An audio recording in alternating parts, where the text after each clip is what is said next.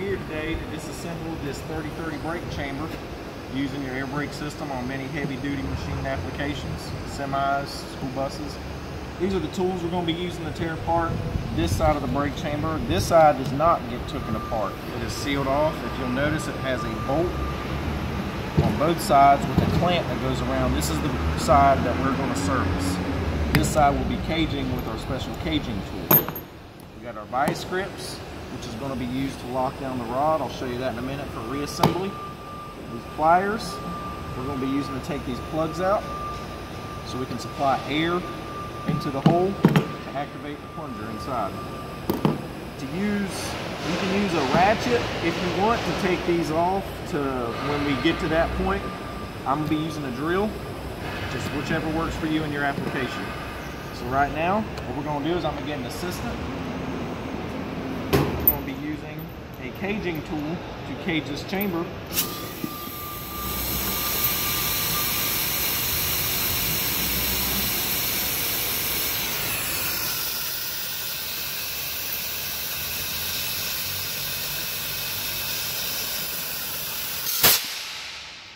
Very important we do that. If not, it could lead to an injury of some sort. We don't want none of that. Now. That that is securely caged, we're going to be taking apart.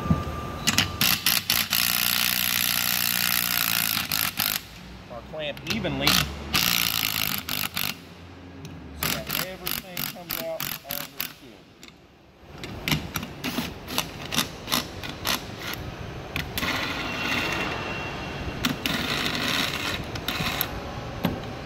Go ahead and take the rest of it off by hand. Okay.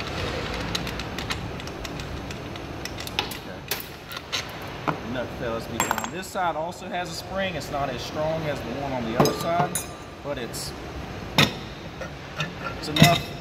You should be at least a little bit concerned about. All right. So this is the basic gist of a brake chamber tool apart. You have a diaphragm in here. This is the most common reason to tear this apart. is change this rubber diaphragm. And basically we're ready for reassemble. If, uh, if I can get my assistant to hold this down in place, we will put our diaphragm back on. The, you'll notice it has a beveled side. You want to make sure that you put it on the beveled side of the chamber so it has a sealed uh, mating passage. Now the vice grips that I mentioned before, this is where we're going to be using this. As my assistant clamps on the rod, makes it a lot easier to put this thing together. You get the nut good easy way to uh, good easy way to put this back together is to go ahead and start one bolt on one side just loosely and when you go to set this on you want it dead on even on both sides of the diaphragm so that you know you have a clear sealed chamber.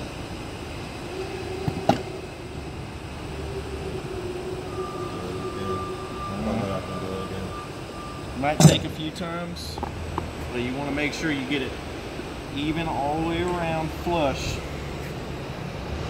so that it does not create an air leak later on in the, in the truck. There you go. So, might take once, twice, but you want to make sure you do it right. It's the main thing. It don't matter how many times it takes. So now, we take our loose clamp and bolt. We start one side as my assistant holds it. We go around the perimeter of the chamber and it'll sit in place. Put your second mount bolt on the strap. The nut. Take your drill. Run it up close. Make sure, very important, you want to make sure this thing gets on evenly.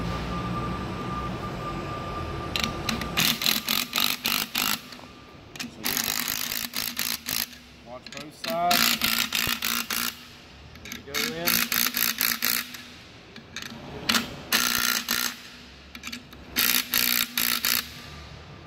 Just want to make sure that that is as evenly as possible tightened. Take your rod loose. Now we're going to go ahead and test it make sure our rod moves. That shows us that our diaphragm is holding air.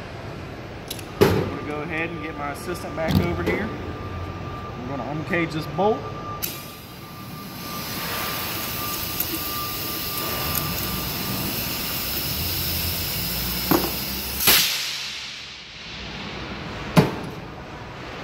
And that is how you disassemble and reassemble a 3030 brake chamber.